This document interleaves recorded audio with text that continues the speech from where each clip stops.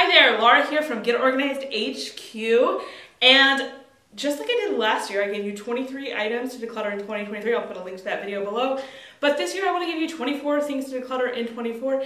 And all but one of these things is actually different, okay? So these are 24 new things that you can declutter this year to make sure you're starting your year off without a bunch of junk that you don't need.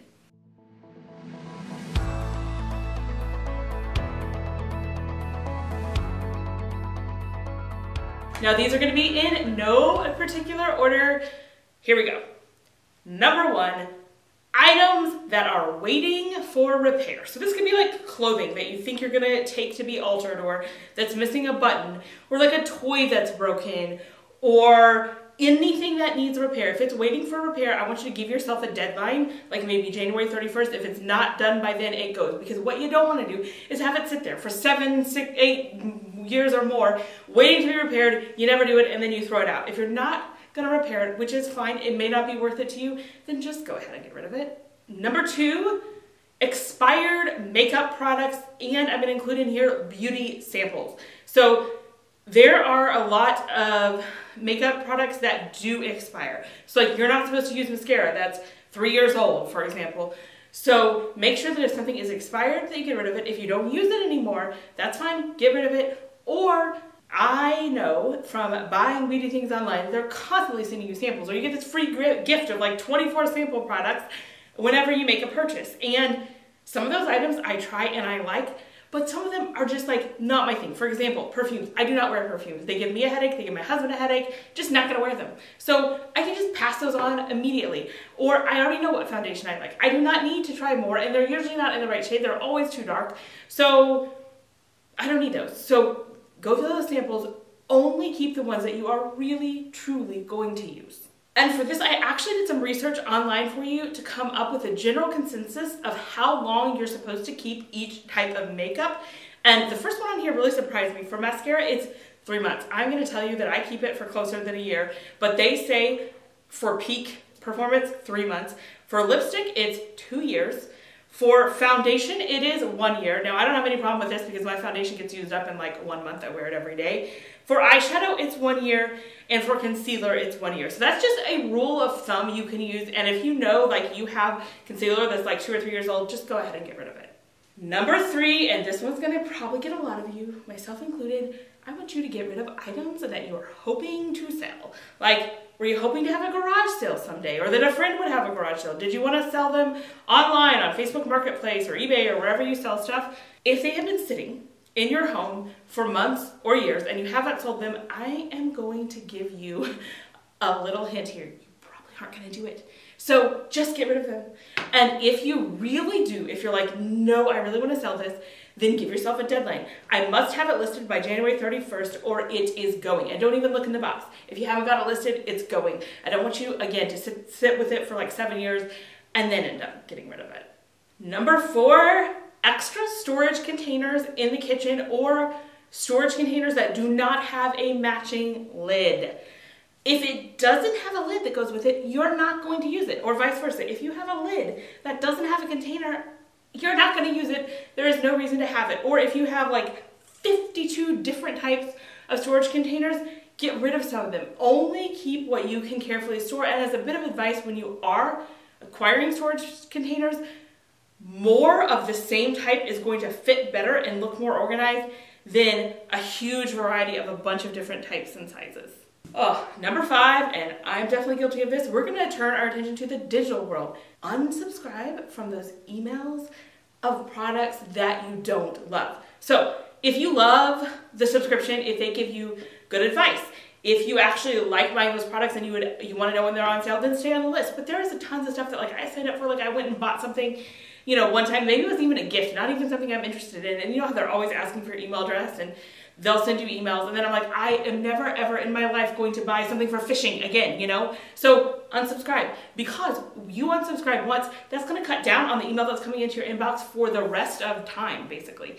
So go ahead. I would encourage you to sit down right now. Just take out your phone. I'm gonna guess you all have a phone. If you're watching this on your phone, wait till the video is done.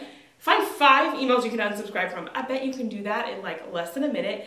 And then every day when you're checking your email, I just want you to ask yourself, Are there any of these that I need to just press the unsubscribe button? Next up, number six is sticky notes. Now this would include it like unused sticky notes, so you've got all these different kinds of sticky notes. It would also include sticky notes that you've written on and have stuck everywhere. So sticky notes are great. I love sticky notes. We have sticky notes in our shop, which I absolutely love because they are color coded to our actual brand colors and to our goals in our planner. Love that. But it can still be too much. So especially if you have sticky notes kind of stuck randomly everywhere, in notebooks, on surfaces, on your computer, this one drives me nuts. I do not put sticky notes on my computer. It's gonna look really sloppy.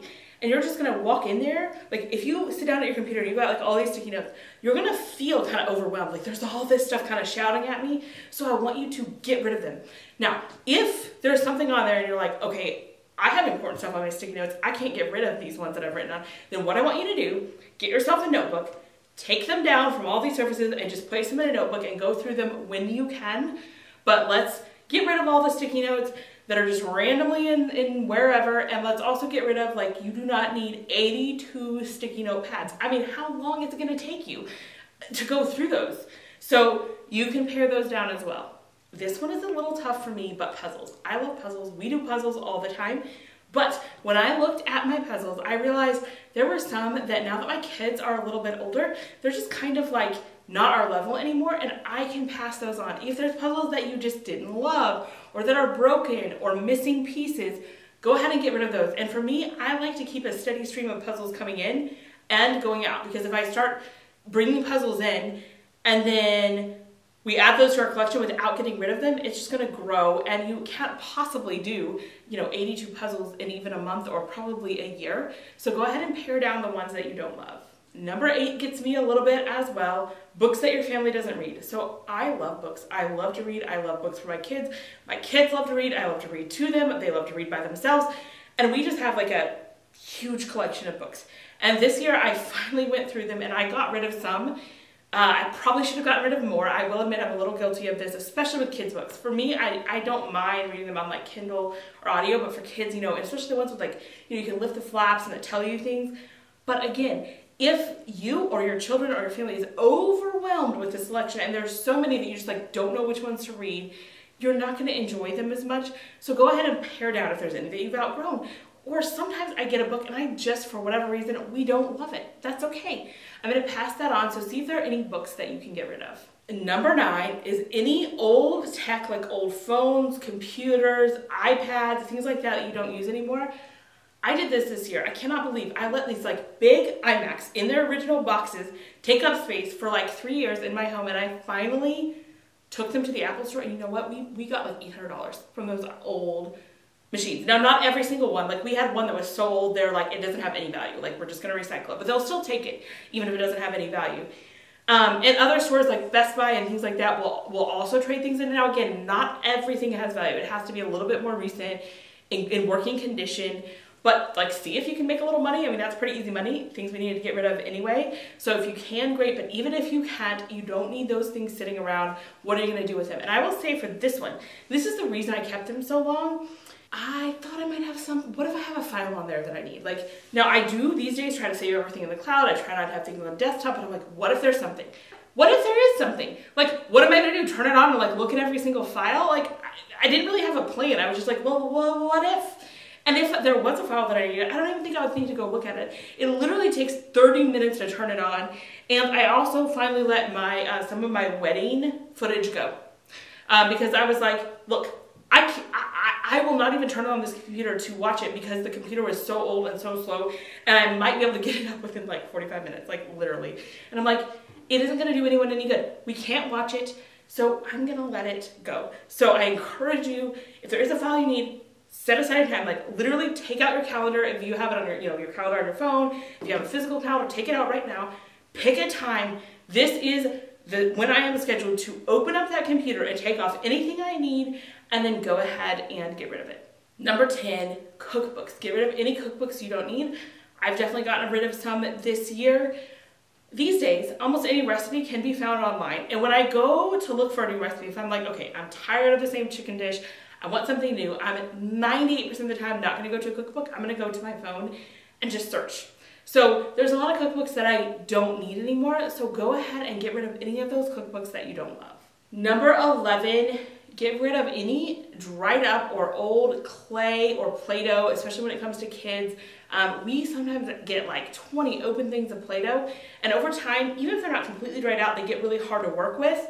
Play-Doh is cheap and easy to replace, so go ahead and start with a clean slate, get rid of any of that, and get some fresh Play-Doh that is actually easy to use. 12, many of us probably have candles in our home that we don't use.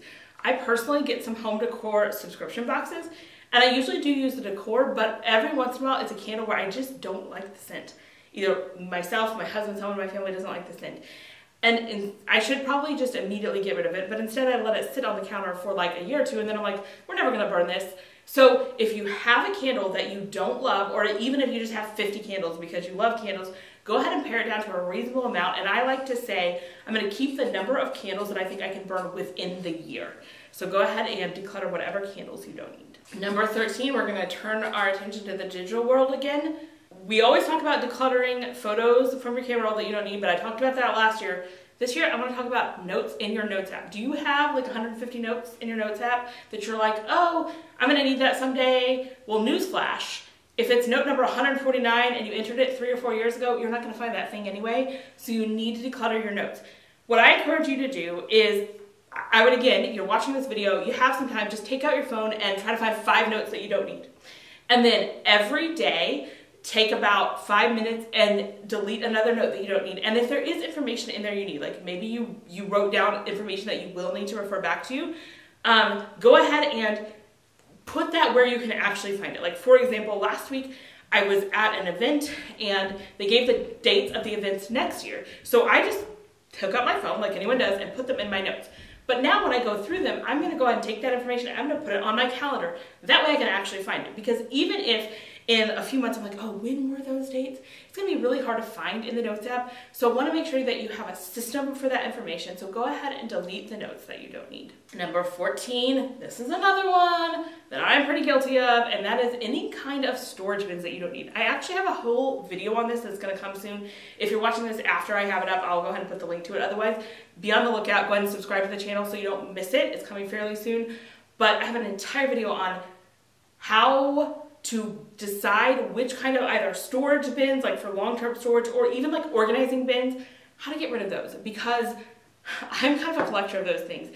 And I have like 50 million different kinds of storage bins in case I need this, in case I need this. What about this drawer organizer? What about that?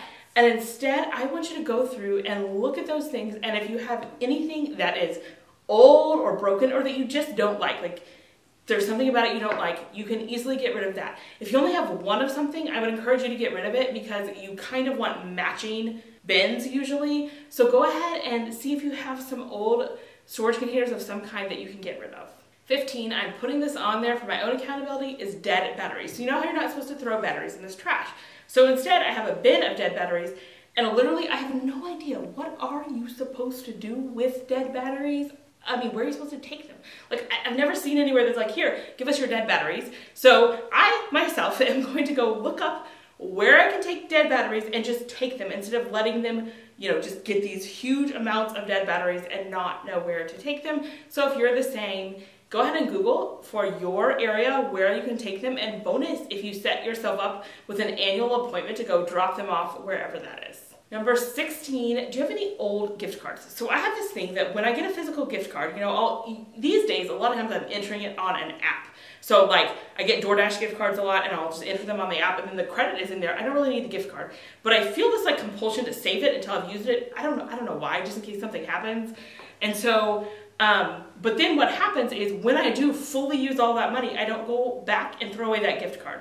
So go through your gift cards, make sure they're entered into all your apps and that you've redeemed them. Or I have a random gift card over here, like I have a Williams Sonoma gift card in my nightstand right now, and I've seen it, like I see it every night, I'm like, I really don't know how much is left on that. I know that there's something, I know that I've used it, but I'm like, is it $5, is it $15? So go ahead and do yourself a favor, collect them all up, search, you know, see if they've been redeemed, if so, trash them. And if not, like write on the gift card or make yourself a note of how much is left so you can start taking advantage of those gift cards. And number 17, speaking of gifts, if you have any unused gifts that have been given to you a long time ago or even that you just got for Christmas, because it's now January. If you're not going to use it, go ahead and get rid of it. This is one that I think gets a lot of people because you think it was a gift. I mean, I should use it. And you almost feel this like guilt of getting rid of it. But the person who gave it to you, they wanted to give you something that helps you. And if it's not your thing, if you're not going to use it, go ahead and pass it on to someone that will. And you can still appreciate the thought behind that gift. So don't feel compelled. I don't want you to take your Christmas presents from this year. If there's something you know you won't use and hang on to it for a full year before getting rid of it. Just go ahead and pass it on if it's not something that you'll use. Number 18 is receipts. Get rid of receipts that are laying around that you don't need. And little newsflash here, you actually don't need very many receipts. I used to be this person who just kept all of my receipts. So I had like these, a lot I don't know if it's elaborate, but I had a whole entire filing system for my receipts. And I would keep like if I went and got gas, if I went to Aldi and I bought groceries, I kept that receipt. Well, here's the deal. Why do I need my gas receipt? What am I gonna do? Am I gonna return the gas? I mean, that, that's not even a thing, so I have no idea. Like, I cannot imagine a scenario in which I need this receipt. And it's gone through on my credit card. So I have a record of that purchase if for some reason I need that. Same with food, like once I've eaten the food, there's really no point in it. So you may need to save fewer receipts than you think. Now there are, of course, times when you need to save a receipt. I will save receipts where um, I think I might return the item. So for example, clothing, you know, if I got something for my child and I'm not 100% sure if it fits or something like that, then I will save those receipts until we know that we're gonna keep it and then I let them go. So when I'm only saving that many, it's easier to manage or for tax purposes, if I'm buying something for my business, of course I'm going to save that receipt, I'm gonna do it digitally. Um, I have an entire course on how to go hybrid paper and paperless at the same time. So I'll leave the link to that below if you're interested in maybe this year getting your whole paper system more streamlined and going a little bit more paperless without diving in all the way and thinking, oh, I'm never gonna be able to use paper again. But I want you to take all those receipts that you have sitting around and clean those up and I think you'll feel instantly better. Number 19, get rid of any extra wrapping paper or gift bags or things like that. A lot of us tend to save those things. And I even remember this like Friends episode where Monica was like ironing the wrapping paper. Okay, I'm not that bad. But I do like, I'm like, oh, we might use this gift bag someday. Let's save that. And so for Christmas, if you got gifts, you probably did save some of that. That's okay. Like, I think that's wonderful. I do actually reuse some of those, but I want you to have a system and I want you to have a container. So what, like, we all have the classic gift bag full of gift bags, right? Like you take the biggest one and you put all the gift bags in there. That, that's fine. But that, that large gift bag is your container. Once that is full, you have, you have two choices. You can either just discard or pass along all the, the new gift bags you get, or you can go, if you want to take this time and look through it and be like, I actually like this gift bag better, I'm to substitute. But you can't just like keep letting the collection grow and grow and grow to the point that you're never going to use them. So get rid of any extra wrapping paper, wrapping supplies, gift bags that you're not going to use. Number 20, get rid of any paper or plastic like grocery bags and bags from the store that you saved thinking you might reuse them. Uh, I myself just have this habit of like storing, keeping them all. Like I might need them, maybe someone comes over, you know, like you never know when you're gonna need a plastic bag. Every time I travel, I actually have a cosmetic bag of plastic bags because you never know when you're going to need them. However, what you don't want to do is have them overtake your pantry and fill up half your pantry. So what you need to do is we have this one space, we have this one like cube in our pantry. Anytime I get a bag, I put it in there. When it is full, I discard the bag. I do not keep it. So if you have excess plastic bags or paper bags, go ahead and get rid of those. Number 21, I'm also guilty of this one. If you have any single earrings that are waiting to find their pair, get rid of them. If you've had them for more than three months and you haven't found the mate, you're not going to. I mean, like literally, I have never had a time that I have found, I'm trying to think, like, did I have a time? But I don't think I've ever had a time that after a year or two, I actually found the mate. This is especially true if the earring is just mediocre. Like, if it's nothing special, just get rid of it. Don't just hang on to them waiting for the mates. You could say the same about socks as well. Um, get rid of those and only hang on to the ones like if they're extra special and you're like, yes, I would be thrilled if we ever found the mate, then go ahead and do that. But other than that, get rid of those single earrings.